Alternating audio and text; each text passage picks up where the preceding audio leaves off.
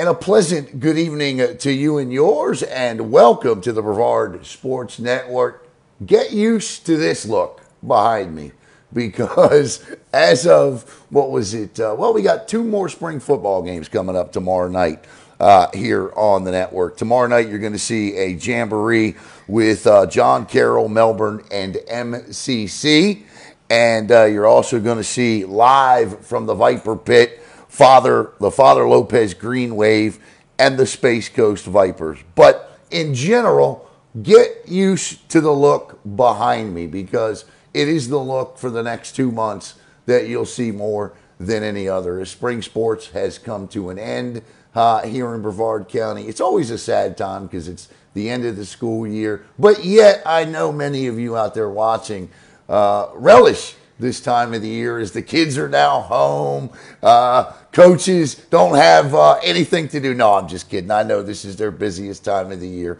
We kick off our spring football recaps here tonight uh, with the head coach of the Viera Hawks as he gets set to enter into their second season. Last year, the Hawks were five and four and barely, barely just missed out on a bid in the playoffs. And uh, so please help me welcome here tonight to recap exactly what happened over the spring. And by the way, coming up at 8 o'clock, we're going to have John Holmes from the Titusville Terriers to recap the Terrier spring. But right now, uh, please help me welcome in uh, Tony Gulla from the Viera Hawks. And, Coach, first of all, thanks for taking time uh, to do this tonight. Uh, it's been a whirlwind to try to get this accomplished with you, mainly just because of how successful spring sports have been. Thanks for being here. Uh, Coach, I guess the first question is how was your spring? Well, well, first of all, thanks for having me, Alan. I'm, uh, I'm excited to be on. Um, we had some questions going into spring. Um, we had questions on offense with depth, um, certain positions. So it was experimental for us. We were going to try some new things and see how it looked. And, um, you know, and, and, and it was, it, it, turned out okay. We found out, you know, some, some things were lacking. We found some, some found out some things that we're, we're good at.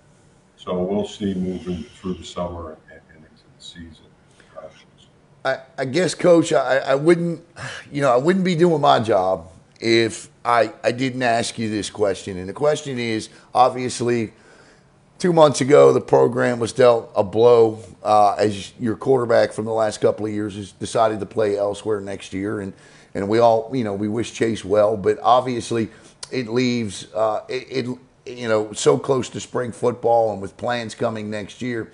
Um, being a veteran coach that you are and, and the success that you've had, I know that you've gone through a lot of things in your coaching career, um, but how how how were how, will how will how have you adapted to this uh, in the spring, and, and what's the plan for the Viera offense there?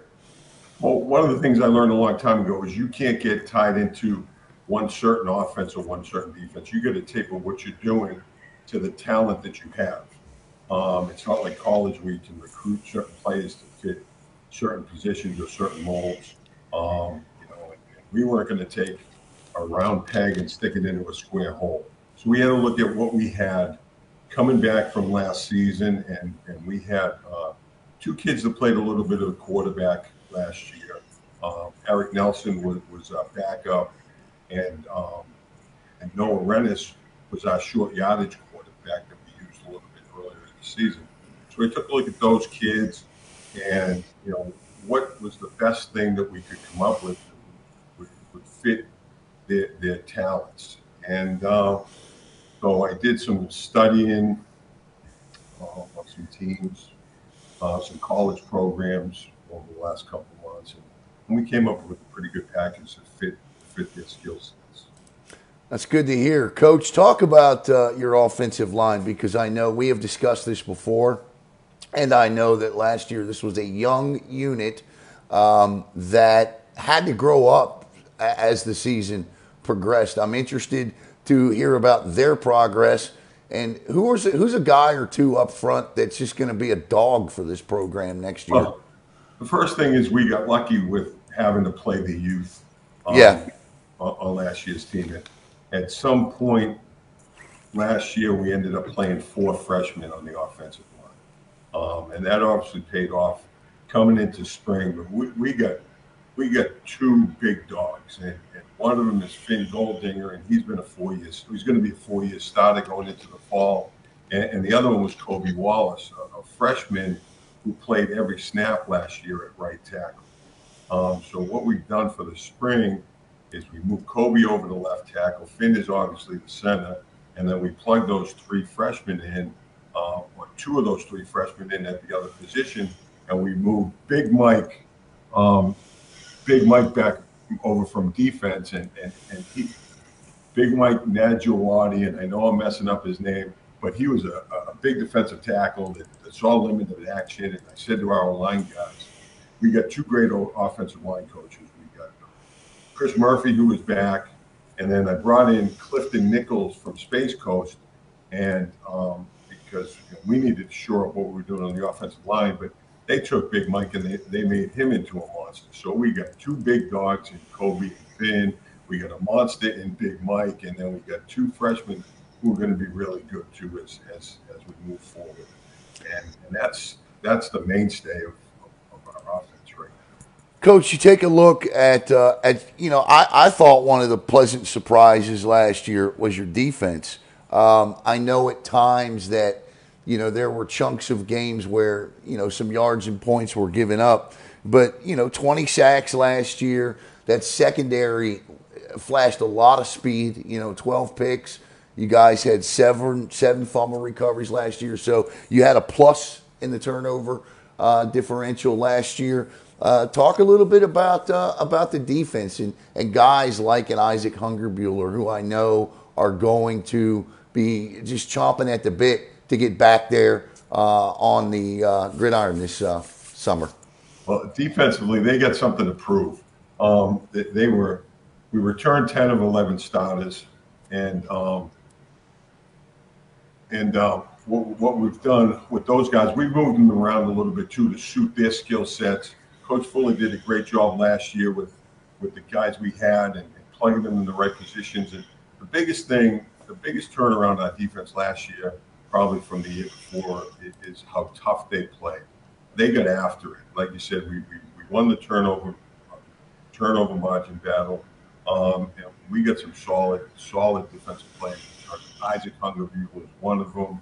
Uh, Sal Orlando, Noah Rennis, James Olson. I could go on and on. Cooper Keith, um, Robbie Haley, Namdi is, is you know, it's defense. We got ten guys back that can play, and and and we went into the spring and, and I talked to those guys, talked to the defensive staff, say, hey, we got to be a defensive led team now. We're going to have a different type of offense, and we're going to be a little bit ball control. And, and we got to stop teams. We got to stop the run. We got to play tough defense. And, and that's what we did. That's what we did last week. And that was the impressive part. Uh, I'll tell you what, I don't I don't know if he's going to be playing football next year. I hope he is, but I had the pleasure of watching Dom Leone play baseball this year. And I don't know if Dom's coming out for football next year, but watching him steal home just gave me thoughts of what he could potentially be in that secondary if he plays football next Dom's year. Dom's another one. Dom should be back. And and Dom probably played the season last year at about 70%. Yeah. Uh, he, he had a hip injury that didn't heal till well after the season ended and he was, you know, and I say seventy percent, and that's that's pretty that that's pretty loosely. I mean, yeah. Was, I used to fight with him to get him off the field in practice, and then um, you could tell he was hurting in the game, but he, he would not he would not take himself out. We had a, we had a force forcefully. Yeah, Coach, but he should be back. Good. That's good to hear because I, I mean he is just an unbelievable athlete. Watching him steal home uh, in the regional championship game and in, in, the regional semifinals in an inside the park grand slam. Those are two things in baseball you just don't see every day. Um, I want to go back to the offensive side of the ball because, again, coach, and unfortunately, all everybody wants to talk about is what you lost. But, you know, I look at your wide receiving core, coach, and I think very quietly when I look at guys like Hancock and Woodruff and, and Nelson and guys like that, and I know I'm leaving guys out and I apologize but but I think you have an extremely solid core of wide receivers. No, we we're, we we got Jack back, and and and Nelson, um, when he's not playing quarterback, will be a slot receiver. Um, Donovan Long's got to step up, and you might see Cooper Keith and and, and over on offense a little bit, Robbie Ailey a little bit on offense, and then we're going to have a good group, a, a good a good group of young kids coming into. That's good um, to hear. Yep. Coach, um, you know, obviously, as you head into the summer months, um, you know, you, you the your mind, coaches' minds, and I was joking around at the beginning when I said coaches could take a break because really this is the time you guys really got to get after it in terms of what you want to accomplish once fall camp starts. Um, what's the route? What's the summer routine for you? What do you do in the summertime to prepare you for camp coming up? Me personally, or the other players? You, you, you, you personally. Well, well, what I got to do is continue to study um, and, and, adapt to what we need to do offensively. Um, you know, I'm, I'm the play caller and, and I'm the quarterback coach, so I got to figure out what we're going to do offensively. Um, I'm going to work closely with Coach Fuller to make sure the defense is right because the defense is, is you know, we're going to win games with defense. Right. Uh, hopefully, we're going to score some points but we're definitely going to win defense with defense. That's our strong suit. Having having ten starters back. I mean, that's so. I'm going to work closely with Coach Fuller too. What is you know? I know you you know that defense you mentioned earlier. They that they have something to prove, and so who who you know as terms of leadership, what do you tell these guys returning ten of eleven? How do you hone them in? keep them focused on the goal at hand, and keep these guys working throughout the summer. What do you tell them? Listen, I didn't have to tell them a lot. That's they, good. They have something to prove. We didn't have an issue with kids being late for practice, kids missing practice. They showed up every day and they were ready to work and they were ready to get after it and they really wanted to get better. And and, and I've toned things down a little bit with the way we, we, we practice, not as far as intensity goes, but we didn't we, I think we might have had maybe a six or seven play series all spring that was live in practice, and they used to get so pissed at me. Um, but you know, I feel, hey, let's work on let's work on our technique, let's work on our reads and keys, um, and, and, then we'll get the physical stuff down. Um, moving forward into our preseason camp, and it, it showed a little bit. We did miss a few tackles on Thursday night and the kids were really upset. And, and I, I just said to them, and I said to the defensive staff, that's on me. We didn't tackle live really at all um, in the spring. And, and so that's on me, and that's to be expected. Um, so motivating these kids is, is easy. I mean, they, they're self-motivated. We are now, we're now a senior, a senior-led team. We we had all our captains are back. Um, lost. We lost the captain, um, and the three remaining captains, Cooper, Jack, and Olson, called me up and they said, "Coach, Isaac's going to be our fourth captain." And like, okay, guys, Isaac's the. We, elected those those three kids last year, and they were adamant about Isaac Hungerbuehler being the captain. Isaac's the captain, but we got we're a senior led team. Uh, that's it makes it a lot easier for for us as coaches. That's good to hear because I, I, I, know how I listen. I know a lot of these student athletes well, you know, off the football field as well, and their parents, and I know how how how much last year hurt, you know, internally, and I and I know how much they just want to get into this upcoming season. And look, coach, I'm looking at your schedule. You start against Central at home, Satellite at home. You go to Rockledge, Titusville, Toho at MCC, at Spruce Creek.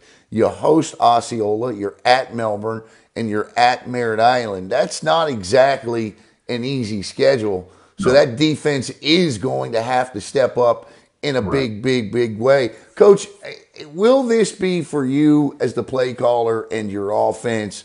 Eh, obviously, you're going to have to, you know, they don't, you know, you get a kickoff classic and that's it. What's your expectation in terms of the offense uh, helping this team get to what the goal is for next season?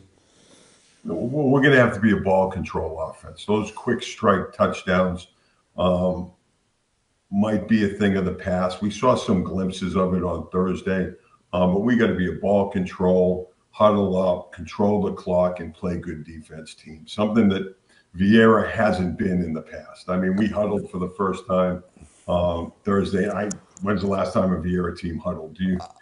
Do you I, hey, look, it'll it'll look weird. That's for sure. Uh, there's no. as I put the stats up uh, from last year again, obviously uh, the expectation would be to lower those points. You, you look at that right there. Uh, obviously, you still want to be plus in the point column. Uh, I would imagine that uh, in terms of rushing yards and passing yards, th- those numbers will probably look significantly different. Um, and and again, I you know with as good as that defense is, I would expect uh, a good, like you said, a good ball control offense with a defense that creates some opportunistic turnovers, especially uh, with what you have coming back. Coach, do you get a chance? What we got any vacation plans this summer? What are you going to do to relax? unfortunately, I, I, I planned a vacation over a year ago. I didn't expect to be in this position. Um, and I tried to get my wife to, to postpone it till next summer, and she gave me an unequivocal no. It's, either, I was going or I'm living in the garage. Coach, I'm on her side on that, man. Take I your time, to, go on vacation, and have uh, get some relaxation. I have to take I, I have to take uh, a week or so off. Yeah, um, this this upcoming month. Coach, I'm, uh, I'm not used. I'm not used to that. I think in in, in 38 years, I probably missed 10, uh, 10 off-season conditioning days in you know so gotta go my husbandly duty uh, no I'm, I'm with you coach. Uh, probably a good reason why i'm sitting here single. So you do what you got to do. I definitely hear you uh, coach. Um, listen good luck. Uh, obviously uh, we're proud to announce that uh, once again for i believe the fourth consecutive season brevard sports network will be back broadcasting uh, Viera Hawks football again next year. We, we, yeah, we, we can't wait. And, uh, you know, obviously the Booster Club, uh, you know, a great relationship with them. So we're excited about another season of Viera Hawks football. And, Coach, we appreciate you kicking off our spring football recaps. And we're going to let you go. But before I let you go, I also know you have a camp coming up. Tell us about this. tell us about this camp. I don't know how we've got Coach got named Coach Gulla's youth camp. It was supposed to be a Viera Hawks junior camp. Um, we're working in conjunction of, we're, we're, working with it. We're working the camp. We put the camp together in conjunction with um, with, with Viera Youth Football. I got you. July um, 8th, 9th, 10th, and 11th. Um, and, and, registration is, is ongoing through uh, the Viera Youth Football website. Gotcha, gotcha. We'll get we'll get you uh, we'll, we'll get that promoted for you, coach. And again, we appreciate you. Uh, good luck this summer. Have fun on vacation, and uh, we'll see you day one of uh, fall camp. Appreciate it. Thank you. Uh, yes, sir. All right, that's Coach uh, Tony Gulla, and coming up in 36 minutes here on Brevard Sports. Now we're going to end this, but coming up in 36 minutes will be John Holmes from the Titusville Terriers and we will recap uh, Titusville Spring. Again, Viera, um, it's going to be a different look uh, from what you've seen in the past offensively. Uh, as you heard Coach Gulla say, it'll be weird to see the Hawks huddle, but that's what you're going to see. And Isaac Hungerbuehler, and company on that defense. Uh, the, listen, I know these guys can come through. That's going to be a defense to contend with next year. There's no doubt about it. For Coach Tony Gulla, I'm Alan Slaughterzinski. We'll be back in about 30 minutes right here with John Holmes of the Titusville Terriers.